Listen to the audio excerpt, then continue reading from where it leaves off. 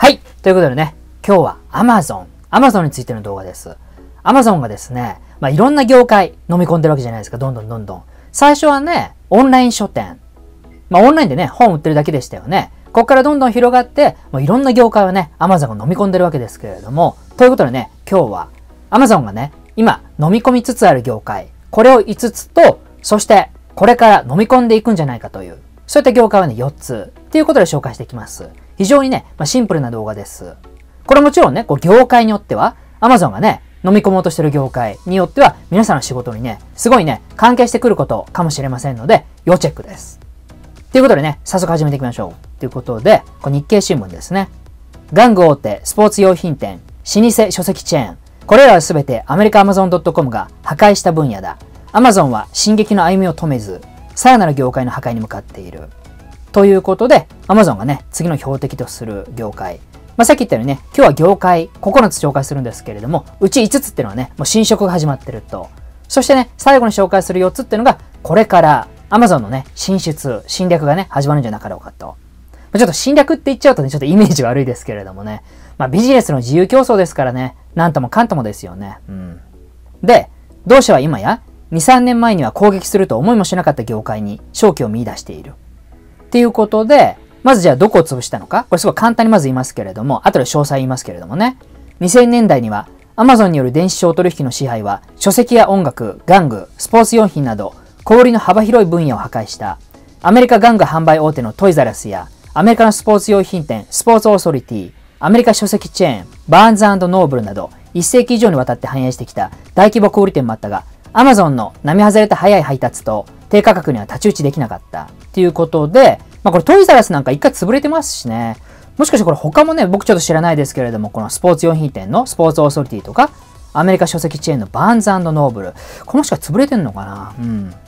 まあそしてですよ、今言ったのはいずれも小売りじゃないですか、小売店。まあリテールの業種だと。ただ、アマゾンの破壊の野望は、今や小売りをはるかに超えて、例えば、同社は実店舗を展開する食品スーパーを買収し、地域の配達を簡素化するために、野菜や果物の熟度を自動選別する機能を搭載した生産ラインなどテクノロジーを駆使し、まあだからあれですね。ただネットで販売してるだけじゃなくて、こうやってテクノロジーも駆使して、しかも生鮮食品にもね、手を出してると。そして、2018年の6月には、オンライン薬局のピルパックを買収した。最近発表した新しいサービス、Amazon 薬局により、全米で薬局の免許を取得し、流通網を築こうとしている。で、他にも、個人や外部の販売業者が出品できる Amazon マーケットプレイスでは、売上や予測などのデータを活用し、出品者に銀行よりも有利な金利でリスクを排した融資を提供。まあ、このあたりをちょっと今日はね、詳しく説明していくんですけれども、まあ、大まかに言うとこんな感じの動きがあると。ということでね、早速、早速これね、まあ、破壊が始まってる業界。これをですね、5つ紹介していきます。はい、まず1つ目。これがですね、さっきも出てきた薬局でございます。1999年にアメリカドラッグストア .com の株式40%を取得し、ベゾス氏は後にドラッグストア社のカルラマン CEO を Amazon のハードライン部門の責任者として採用した。そして Amazon はその後、医薬品分野で目立った動きを見せていなかったが、2016年に、あ確かにね、これ買収したの2000年って言いますからね、2016年って言うと16年も経ってると、2016年にアメリカ国内の様々な州の委員会から医薬品や薬の販売認可を初めて得たとされる。ということでね、1999年には医薬品の分野、こういったところへね、興味があったと。ただそこからしばらく動きがなかったんですよね。ただ2016年に、まあ、いろんな、アメリカのね、アメリカのいろんな州で薬の販売認可をね、得たと。まあだから逆にね、これ間が空いてるだけに、やっぱり興味がある分野ってことなんですよね。だってそうでしょ？興味がなかったらね、もうそのまま終わってるところが、もう一回チャレンジしようとしてるってことだと思うんですよ。だから興味がやっぱあるんですよね。そして、2018年にはピルパックを7億5000万ドル相当で買収し、複雑で規制が厳しいことで知られる医薬品業界でさらに足場を固めた。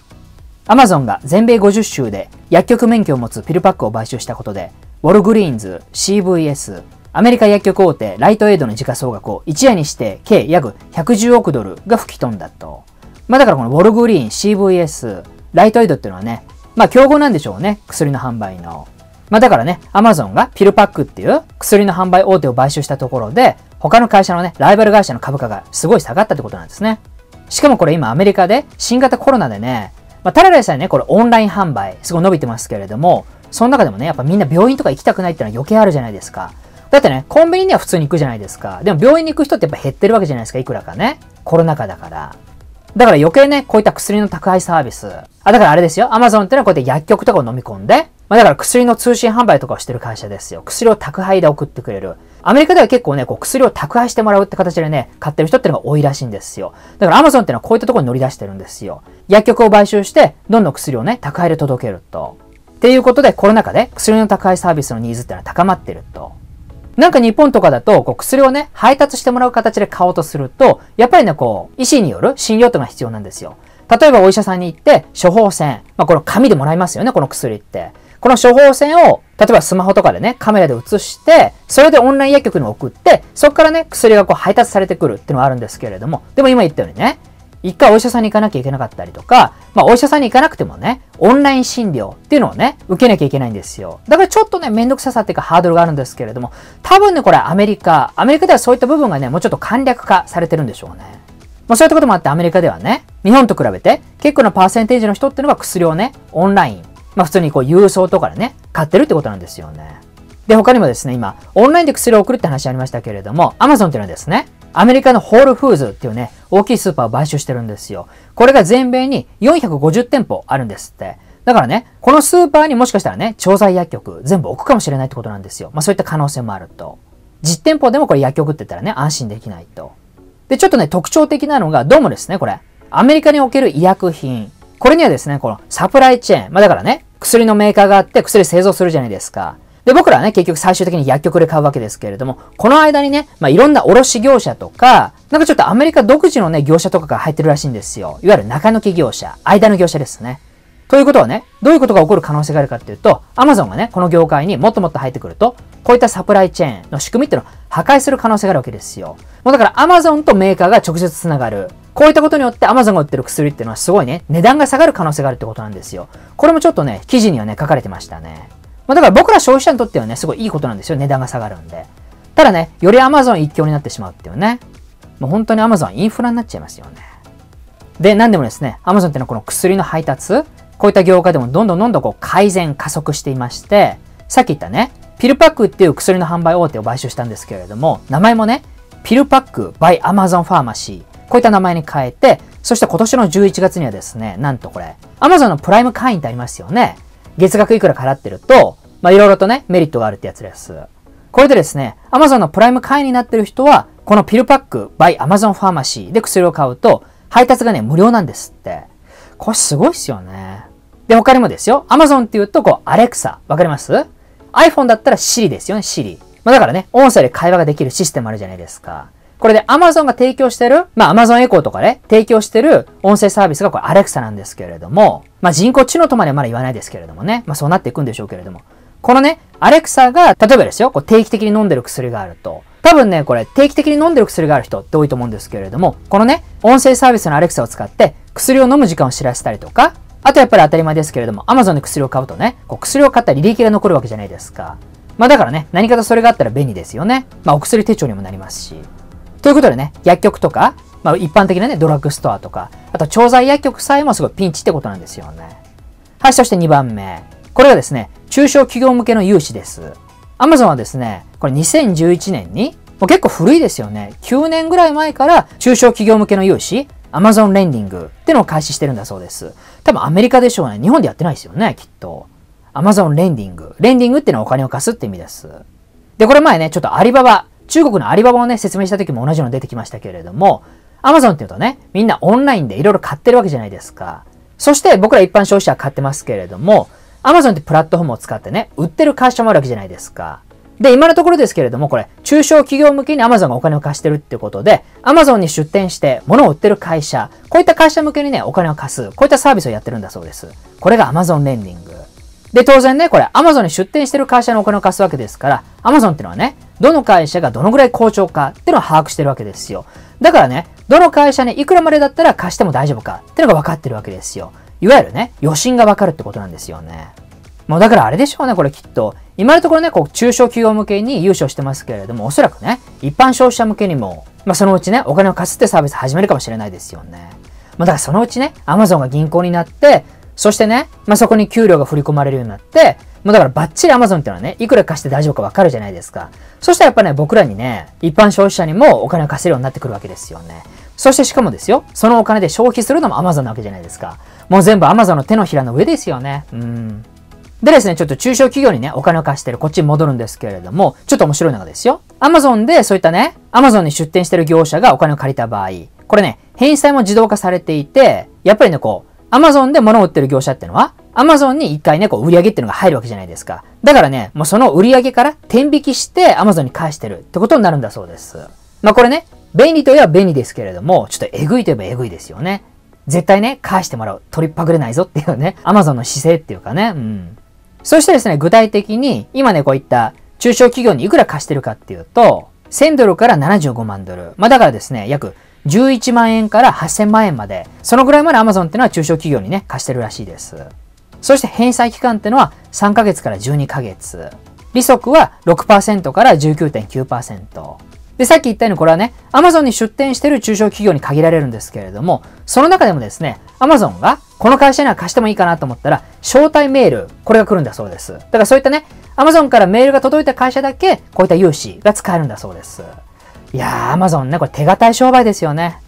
で、ちなみにですね、これがどのぐらい利用されてるかっていうと、まあ、件数は書いてなかったんですけれども、2019年6月から今年2020年の5月まで、だから約1年ですよね。1年間で今のところ、1050億円。まあ、ドルにすると10億ドルですけれども、1050億円以上の利用があったと。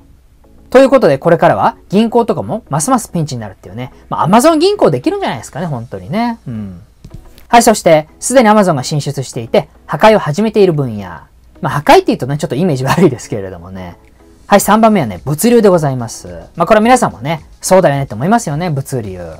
アマゾンにとって商品の販売は戦いの半分に過ぎない。いやーわかります。本当に重要なのは、こうした品物を顧客に届けることだ。配送は Amazon にとって最重要かつ最大のコストセンターだ。迅速な配達こそが顧客体験を向上し、さらに多くの顧客をプライム会員に取り込む手段だと自負しているからだ。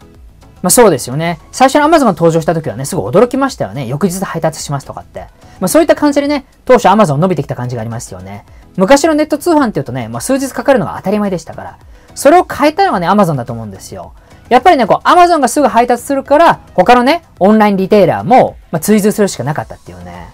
それでですね、Amazon っていうのは、ちょっと前のデータになりますけれども、2018年には、何でもですね、アメリカ人口の72%、まあそういったエリアでしょうね。アメリカ人口の72%が住んでるエリアで、即日または翌日配送ってのを可能にしていると。これ2018年だから今もっとすごいんでしょうね。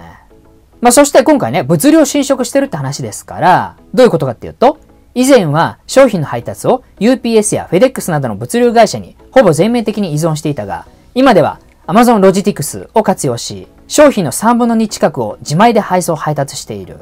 これもすごいですよね。もう3分の2とかなんですね。Amazon が直接配達しているのは。まあアメリカですけれども。まあアメリカがなってるってことは日本もね、遅れてなるんでしょうから。そして、このペースが続けば、2021年には商品の8割を自前で配達できるようになると、恐るべし。なんかね、こう僕みたいにね、しょぼい人が考えると、Amazon がね、こう自前で商品を届ける。それをやるっていうことはもちろんね、こう、配送センターをいっぱい作ったりとか、まあ中間地点のね、倉庫も自前で作らなきゃいけないし、まあそれこそ配達員とか、配達のトラックとか全部ね、こう自前で揃えなきゃいけないわけじゃないですか。そうするとこうね、固定費のコストがかさむわけじゃないですか。だからなんかね、そこまでしなくていいんじゃないのかなと僕はちょっと思っちゃうんですけれども、なんでかっていうとその方がリスクが高まるからですよね。でもそれなのにね、Amazon がそういったところまでするっていうことは、僕なんかね、しょぼい人間が見てる未来、そういったビジョンとは違って、まあなんか世界征服レベルのね、そういった巨大なビジョン、こういったのを Amazon が見ているって証拠だと思うんですよね。まあすごいなと。もう最近ではですね、これちょっと僕の個人的な体験ですけれども、ヤフオク、ヤフーオークションでね、買った品物、こういったのまでね、アマゾンから届くんですよ。なんでかって言ったらヤフオクで売った人がね、アマゾンの物流センターに商品をストックしてるってことなんですよね。だからほんとすごいなって思いますよ。ヤフーで買ってアマゾンから届くっていうね。うん。でですね、アマゾンの物流関係。今まで話したところっていうのはね、もうすでに起こってることじゃないですか。で、アマゾンっていうと、もうここに留まらず、だからもっともっと破壊が進むんですよね。ちょっと言い方悪いですけれども。未来の話っていうと、アマゾンの物流関係でね、アマゾンフレイト。これ前からね、ちょっとね、計画っていうか名前だけはずっとあるんですけれども、そしてね、いくらか売り上げ上げてるんですけれども、一般の消費者、僕らにはちょっと馴染みがないんですけれども、Amazon フレイト。これがですね、まあ、大量に荷物を運びたい人、そういった会社とかに提供してるサービスなんですけれども、まあ、ちょっと Amazon の言葉を借りると、配送マッチングプラットフォーム、そういった言い方してますね。なんかですね、こう大量に運びたい荷物がある人と、そしてね、運送業者をね、マッチングさせてるんだそうです。日本ではないんですかね。でもアメリカだとね、そこそこ売り上げ上げてるんですね、これ。計算書とか見てみると。だからそういったね、一般消費者に限らない物流っていうのもね、手を出してるし、そしてですね、これすごいんですよ。2019年の2月には、航空機を使った配送サービス、Amazon Air。まあ、これにね、さらに力を入れるっていうふうに発表して、航空機50機、これを買って、まあ、借りてるか買ってるかして50機揃えて、そしてですね、2021年、来年なんですけれども、総工費15億ドル。まあ、だからですね、1500、600億円かけて、新拠点をケンタッキー州に開港。これ開港っていうことですからね、どういうことかっていうと、空港を作るってことなんですよね。だから Amazon ってのは、50機の航空機を揃えて、空港を開いて物流し始めるっていうね。やりやりですよ、ほんと。で、他にもですね、2019年には、アメリカのエンバークっていう会社と提携して、自動運転のトラックでのね、配送にも手を出しています。これ自動運転って言うとね、まだちょっと先の未来な感じがするじゃないですか。でもね、結構現実的で、どうもですね、これ、自動運転のトラックを高速道路で走らせると。だから多分ですけれども、まだ市街地とかはね、そんな走るのが難しいわけじゃないですか。でもおそらくね、これ高速道路って言ったらまだ簡単でしょ？だから高速道路の入り口と出口、ここにね、こう中間配送、なんか物流センターみたいなの作ってるんでしょうね。だからあくまで高速道路だけを走らせる自動運転のトラックをね、まあこういった計画だと思うんですよ。市街地はこのね、中間地点の物流倉庫からまたね、人が運転して配達すると思うんですけれども。まあこういったことにも手をつけてると。で、そしてこれもニュースで聞いたことあると思うんですけれども、ドローンの配達。これに向けても着々と進めていると。もうなんかね、ドローンの会社とか、ロボットの会社とかね、どんどん買収してますからね。もうだからね、ちょっと今聞いたようにね、普通ね、こう物流会社っていうとね、こんないろいろやってないわけじゃないですか。おまけに Amazon っていうとね、こう AI とか、そして自動運転、こういった研究をしてる部門もありますし、そしてね、まあそういった会社、どんどん買収してるわけじゃないですか。例えばね、こうヤマト運輸が AI の会社持ってるか、AI の研究してるかって言ったらね、多分研究してないじゃないですか。まあしててもすごい小規模だと思うんですけれども、でもね、Amazon だったら、ロボットの会社も持ってるし、AI の会社も持ってる。もうちょっとね、どうやって太刀打ちするんだよって話なんですよね。まあこういった感じでね、Amazon はどんどん物流の会社、まあだからですよ、配達してる会社もそうだし、物流倉庫、倉庫だけやってる会社ってのありますからね、こういったところをどんどん駆逐していってると。はい、そして次の分野。次はですね、生鮮食品の分野です。これちょっとね、パッとわかりますよね。まあ、さっきも言いましたけれども、Amazon ってのは、ホールフーズっていうね、アメリカの大手スーパー買収してますし、あと日本でもね、まあ、少しずつ知名度が高まってきましたよね。Amazon フレッシュです。まあ、だから Amazon のオンラインスーパーです。でですね、これアメリカでは、多分日本ではそこまでなってないと思うんですけれども、アメリカではね、この Amazon フレッシュで買い物すると、なんとですよ、こう、2時間以内に配達してくれるんだそうです。まあ、全部の地域ってわけじゃないんでしょうけれどもね。そしてもちろんね、これ、Amazon に限らずこういったネットスーパーっていうのはね、すごい市場が拡大してると、もちろんコロナですよね。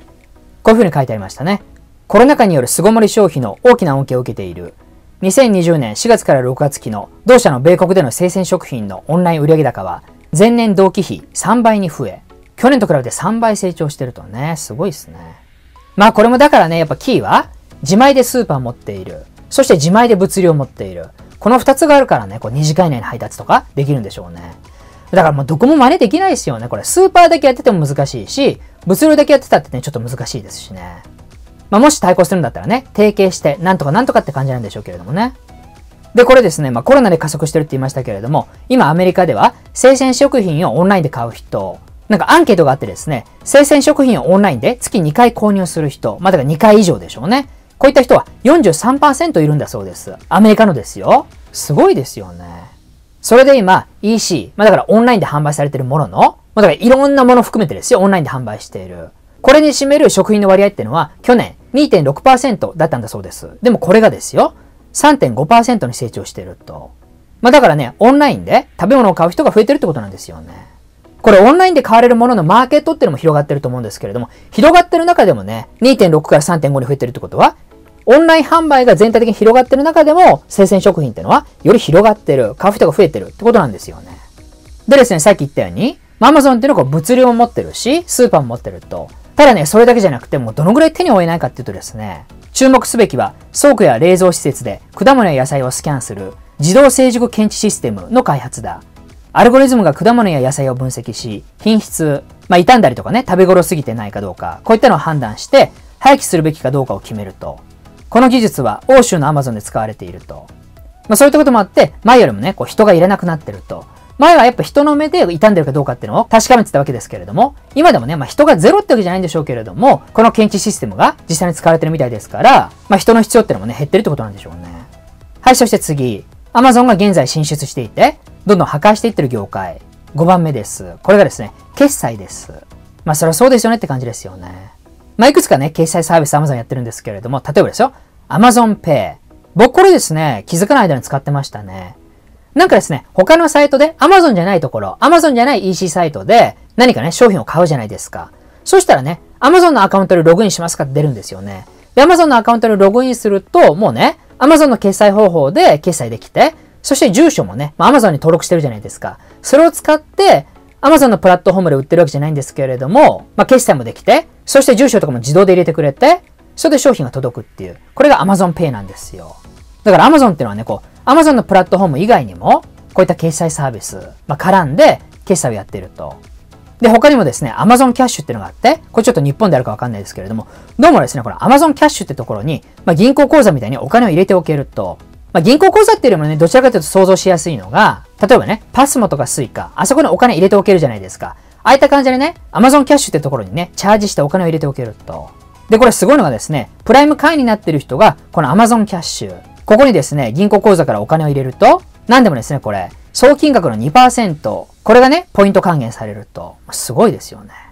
で、他にもですね、Amazon のクレジットカードがあって、このクレジットカードでね、Amazon で買い物をすると2%ポイントが貯まると。これですね、僕さっきちょっと調べたんですよ。僕ちょっとね、Amazon のクレジットカードあるの知らなかったんで、Amazon のクレジットカード、ポイント還元率、みたいな感じで検索したんですよ。そしたらですよ、その説明に Amazon のプラットフォームの説明ページが出てきて、ってことは僕はログインしてるんですよね。ログインしてる状況でその説明文が出てくると。そしたらですね、何があるかっていうと、Amazon のページで Amazon の還元率の説明が出てくるわけじゃないですか。そしてそれはね、Amazon のページだから僕はログインしてると。そうすると Amazon っていうのはですね、こういう風に言ってくるんですよ。もしあなたが Amazon のクレジットカードで Amazon で買い物をしていたんだったら、1年間でいくらいくら円分のポイントが溜まってました。こういう風にね、セールスしてくるんですよ。わかりますか？なんでかというと Amazon は、ここ1年間で僕はいくらね、Amazon で買い物したってのを知ってるわけじゃないですか。だからそういったね、こう具体的な訴求力というかね、具体的な数字を出したセールストークを繰り広げるわけですよ。ちなみにですね、僕はね、1万9000ポイントぐらいって出てきましたね。ってことはですよ、これ。これが2%ってことですから、まあ、約ね、ここ1年間で僕は100万円ぐらいの買い物してるってことなんでしょうね、きっとね。うん。もっと買ってると思ったんですけれどもね、意外に少なかったな。まあそういう感じでね、いろんな決済サービス、単純に言ったらですよ。単純に言ったらね、もうビザとかマスターとか、こういったところっていうのもね、飲み込まれるかもしれませんし、もしかしたら今はね、提携してるだけかもしれませんけれども、まあだからね、決済業者も、そしてさっきも言った銀行とかも、で、ちょっと間接的なところで言うと、ペーパルとか、もしかしたらね、スクエアとか、そういったところもね、全部 Amazon に飲み込まれるかもしれませんよね。すごいなと。ということでね、ここまでが実際も Amazon がね、進出していて、それなりにね、破壊が起こってる。こういった業界でした。これが5つ。ちょっと振り返ると、薬局、中小企業に向けた融資、物流、生鮮食品の販売、決済サービス。まあ、こういったところがね、すでに飲み込まれ始めている5つですね。そしてここから、これから飲み込まれるんじゃなかろうかと、そういった業種、まあ、業界か、業界4つです。これがですね、まず最初、保険業界です。ありそうですね。なんか Amazon はですね、まあ、さっきの薬の分野もそうでしたけれども、もうすでにね、自前の保険事業の構築に関心を示していると。まあ、例えばですよ、2016年にはイギリスで Amazon で販売した商品の事故や盗難による保証。これですね、Amazon Protect っていうね、まあ、盗難保険みたいなもんですよね。こういったものを開始してると。で、2017年、保険関係の人材を募集していたと。そして2018年、保険関係のスタートアップに出資していると。そして2019年、インドで保険規制当局から代理店の認可を取得してると。そして今年2020年、コロナの感染拡大を受けて、インドの出店者に対して健康保険の提供を始めたと。だからインドのアマゾンで出店してる業者の人たちに健康保険の提供を始めたと。すごいですね、これ。みんなアマゾンを使って売って、そしてアマゾンの保険にも入ると。で、アマゾンからお金も借りるわけでしょで、あとアメリカでも、これ2019年、去年ですけれども、アメリカ・ワシントン州シアトルでは、アマゾンの社員向けに、まあ、オリジナルの医療保険サービス、アマゾンケアっていうのをね、試験運用を始めてると。で、結構頻繁にね、保険に関するアンケート調査っていうのをしてるみたいで、あと自動車保険とか旅行保険、こういった会社とも提携してると。まあこういったのもね、だから自前のサービスにするんでしょうね、そのうちね。自前の保険に。自動車保険とか旅行保険って言ったらね、なんかこう、アマゾンとかですごい簡単に売れそうじゃないですか。売りやすい。だってね、こう海外旅行とか行くときに、もう直前とかでもね、こうアマゾンで海外旅行保険にね、パッと入ればいいだけでしょ？まあすごい簡単ですよね。まあ他のね、保険会社っていうのもこう旅行保険とかってネットで売ってますけれども、やっぱりこうアマゾンの利便性と比べたらね、絶対勝てるわけないんですよね。もう僕らね、こうそもそもアマゾンでこう日常的に買い物してるわけですから、クレジットカードもね、もちろん紐づいてますし、そしたらやっぱそこでね、旅行保険とか入った方が楽なんですよね。いやー、どんどん依存してきますよね、一社にね。はい、そして次。アマゾンがこれから入ってきそうな業界です。これがですね、高級ファッション。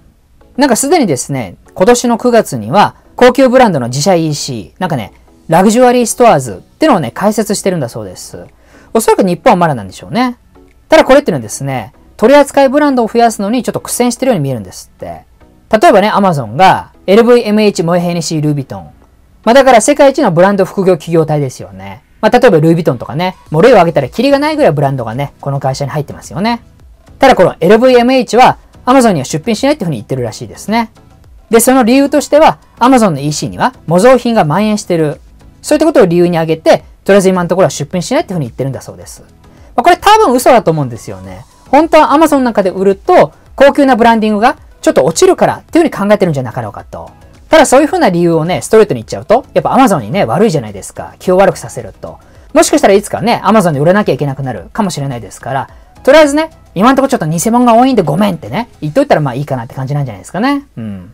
そして次、次はですね、スマートホーム。まあこういった風な言い方されてましたね。これはですね、まあ簡単に言うと、スマート家電。こういったのに Amazon は力を入れたいと。まあなんでかっていうと、こう、アレクサがあるわけじゃないですか。まあさっきも言いましたけれども、音声システムですよね。Hey Siri みたいな感じですよ、アレクサ。アレクサ、起きてる？はい。今起きました。何をお話ししましょう？これがね、アレクサです。まあ、だからね、このアレクサを使って、もういろんな家電とかと連携させたいわけですよ。アレクサ電気つけてって言ったら電気つけてくれるみたいなね。すみません。電気というデバイスを見つけられませんでした。ただ僕はですね、アレクサと連動させてないんで電気がついたりとかしないわけですよ。まあでもですね、これまさにそこがポイントで、Amazon としてはね、全部の家電とこのアレクサをね、連携させたいんですよ。ただね、世の中の家電を作ってる会社と Amazon っていうのは別に提携してるわけじゃないんで、そういうわけにはいかないっていうね。まあそういったこともあって、今んとこね、Amazon が作りたいこうスマートホームっていうのはね、実現されてないと。まあ、アレクサと全ての家電がね、部屋の中の全てのものが繋がるっていうね。ただまあ、いずれはそうしたいと。はい、そして最後、これね、園芸です。まあ、ガーデニングでもいいですけれども。これをですね、2018年から乗り出していて、まあ、園芸専門のストアを出してるんですよね。で、一応ね、これ伸びてるは伸びてるらしくて、去年と比べると、この Amazon の園芸部門の売り上げっていうのは8.6%ぐらいは増えてると。これがですね、今年春のデータなんで、このコロナ禍でね、もしかしたらもうちょっと伸びてるかもしれないですね。っていうところが、今回ちょっと取り上げたかった、Amazon がすでに進出して、破壊をしていってる業界5つ、そしてこれから進出するかもしれない業界4つってことでした。まあ本当にですね、このコロナっていうこともあって、Amazon の進撃、躍進って言うとやっぱすごいんですよ。これね、新型コロナのパンデミックに伴う巣ごもり消費により、アマゾンの業績は大幅に伸びている。2020年7月から9月期の純利益は前年同月比200%増の63億ドルに達した。これにより、アマゾンが新たな業界の攻撃に費やせる資金はさらに増えているっていうことで、聞きましたかこれ？去年のね、利益が2倍伸びてると。アマゾンって言ったらね、もうすごい巨大企業だから、もう巨大企業がね、20%とか30%伸びても信じられないぐらいのことなんですよ。それが2倍に増えるってね、まあありえないですよね。まあだから多分ね、Amazon ってのは、本当にね、入っていった業界、そこではね、限りなくシェアを100%にしようぐらい考えてるんじゃないかっていうふうに思うんですよ。で、しかもね、それってのは、もう今日聞いてもらった通り、ただのね、小売リテールだけに限らないんですよね。もうただの小売に限らず、だってお金を貸したりとかもね、そういうのもありますから、もうだからオンライン上で行われる全ての小取引、これをね、飲み込もうとしてる。こういったのがね、Amazon だと思うんですよ。もうすごいですよね。でもね、そういった Amazon が特別におかしいことをやってるかって言ったらね、実はこれ、むしろね、ビジネスの教科書的なことをやってるんですよね。まあ最初の方にもちょっと言いましたけれども、Amazon って言うとね、もう忘れてる人もすごいたくさんいると思うんですけれども、もともとはね、ネット上で本を売るだけの会社だったわけですよ。でもね、これ、ネットで本の販売、これね、すごい成功して、そっからですよ。これが縦軸。そっからもういろんな商品。まあ、例えばね、洋服とか家電とか、今日はね、あと、生鮮食品、こういったのも話しましたけれども、もう横展開をしていってるわけですよ。そうやってどんどんどんどん売り上げ伸ばしていくと。そして今度はね、リアル店舗、こういったところにもね、手を出していってると。もうだからね、最初にこう縦展開をして、その後ね、こう横軸に出していく。こういったのはね、まあ、ビジネスの基本でもありますからね。